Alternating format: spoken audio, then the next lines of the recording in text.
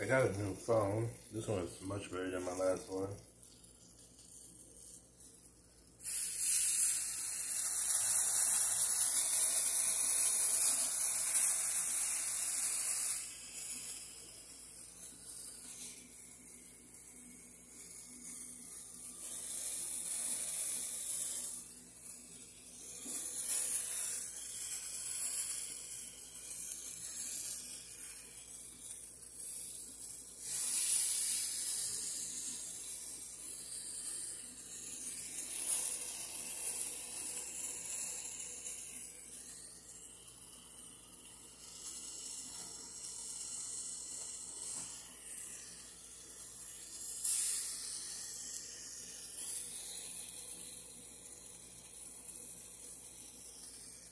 Thanks for watching this mess.